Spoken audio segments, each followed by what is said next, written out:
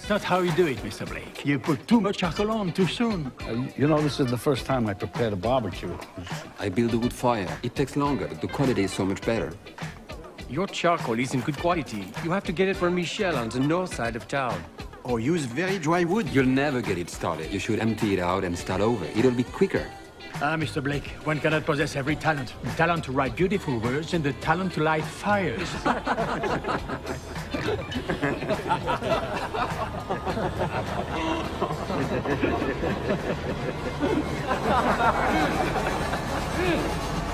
you.